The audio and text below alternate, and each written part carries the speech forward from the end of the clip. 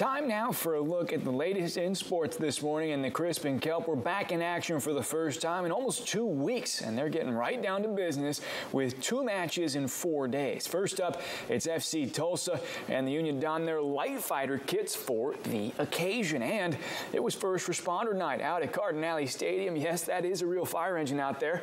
As for the match itself, it was a physical one, and it got a wee bit chippy out there. Four yellow cards handed out throughout the match two for each team. Tempers flaring here, but no cards will be handed out on that specific play. Both teams, they get a few good looks out there too, but neither able to finish. How about Anthony Siaha there coming up with a big save, one of two on the night for Anthony. On offense, another chance for Monterey Bay, but this one is headed away. And this one not long after, about as close as you can get. I think almost everybody there last night thought it was in, but it's Michael Nelson coming up with the save. Monterey Bay FC Tulsa, they play to a scoreless draw. Final score nil-nil.